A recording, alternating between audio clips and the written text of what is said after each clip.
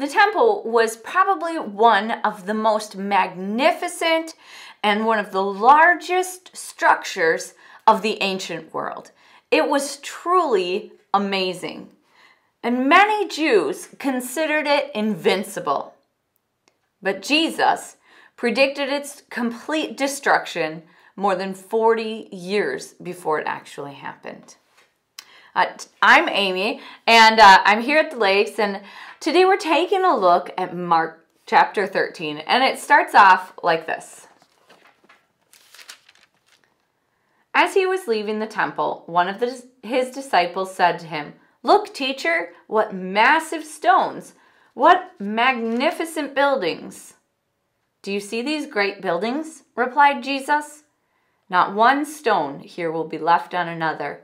Every one will be thrown down.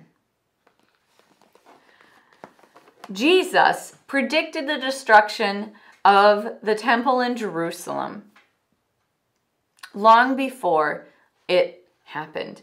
And as a matter of fact, he had the most accurate prediction because in verse 30, he says that it will happen, certainly happen, before this generation has passed away. The temple was completely destroyed in 70 AD by the Romans. But here's the thing when you're reading through Mark chapter 13, I'm guessing you will have a question about what exactly Jesus is talking about. Because it's clear that he has in mind the destruction of the temple when he begins the chapter. But when you get down to verse 31 or verse 24, you there's some confusion that might come into play. Uh, and 32 says this Not no one knows about that day or hour, not even the angels in heaven, nor the Son, but only the Father. Be on guard, be on alert. And then in 24, he had said, But in those days, following that distress. So it almost seems like Jesus then is shifting his attention not just from the immediate destruction of the temple, but to a future end of the age. And that is, in fact, what's going on.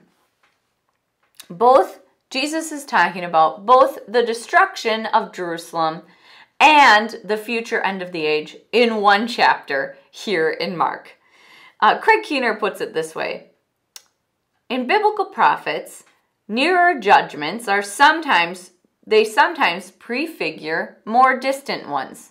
And so Jesus is able to biblically speak both about the coming soon destruction of the temple in Jerusalem and the more distant future coming of his return. And so Jesus is going back and forth in this chapter about both of these future events. So, since we live between these prophecies, the destruction of Jerusalem has already occurred, and the coming, the second coming of Jesus has not yet occurred. How do we live? Well, Jesus reminds us in verse 32 that we are to, or verse 33, that we are to be on guard and to be alert, as we do not know when the time will come.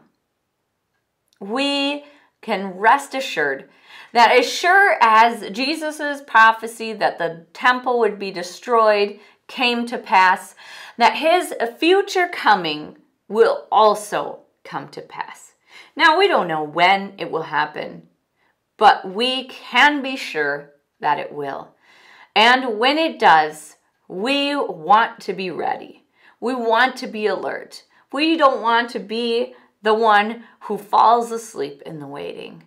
So let's pay attention and let us continue in the good works that Jesus has planned for us until the day in which he arrives.